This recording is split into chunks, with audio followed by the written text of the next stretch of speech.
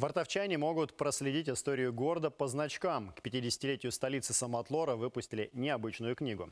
Иллюстрированный каталог собрал более 800 сувенирных, юбилейных, памятных знаков, комплектов наградных, э, наградных медалей и жетонов. Регина Гауфа встретилась с владельцем коллекции и узнала ее истории.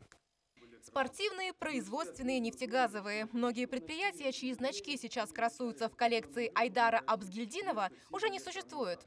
Какие-то сменили название, иные вовсе помнят только сторожилы города. А между тем, все это часть истории Нижневартовска, которую фалерист собирает уже больше 25 лет. С 94 года, с начала трудовой деятельности, я начал коллекционировать знаки по нефтяной промышленности.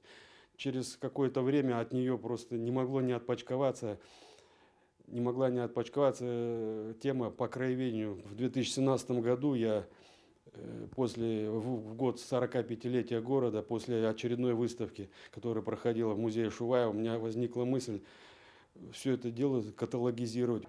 Итак, спустя пять лет эта мысль обрела вещественную форму, уже в виде красочного каталога с глянцевыми страницами и яркими иллюстрациями.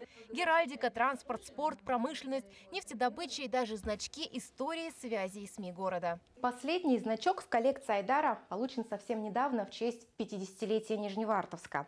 Это муниципальный нагрудный знак честь юбилея города. Учрежден он, кстати, был в 2012 году и с тех пор немножко поменял свой вид.